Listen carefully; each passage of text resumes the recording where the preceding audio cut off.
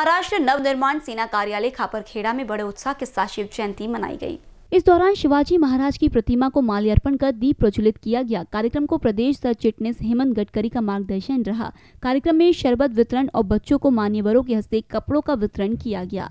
इस अवसर पर प्रमुख अतिथि के तौर पर महाराष्ट्र नव निर्माण सेना के जिलाध्यक्ष सतीश कूल्हे, उपाध्यक्ष जैन चौहान, शहर अध्यक्ष महिला सेना की रेखा ढोमरे, सुभाष निकोसे तालुका अध्यक्ष इसाक शेख, शहर अध्यक्ष यश वैष्णव तालुका अध्यक्ष महाराष्ट्र नव निर्माण जनहित कक्ष, निधि दिफ्टेलवार तालुका तालुका उपाध्यक्ष महाराष्ट्र नव निर्माण विद्यार्थी सेना दिलांश निकोसे, शहर अध्यक्ष महाराष्ट्र नव निर्माण विद्यार्थी सेना कार्तिक भोतकर, सम्यक पोनीकर, रोशन संयाम, मयूरेश केतकर, लकी पांतवन्ने, भूषण दुपारे, संगम गजभिये सुजल रांगडाले, एकांत भोतकर, इसाक शेख, नीलेश बोरकर, मंगेश कुंभारे, सुगत पातवने, अभिषेक पाटिल, अक्षय गुंडाने और अन्य महाराष्ट्र सैनिकों की बड़ी संख्या में उपस्थिति थी। खापरखेड़ा से एनबीसीएन न्यूज़ के लिए दिलीप गजबीहे की रिपोर्ट।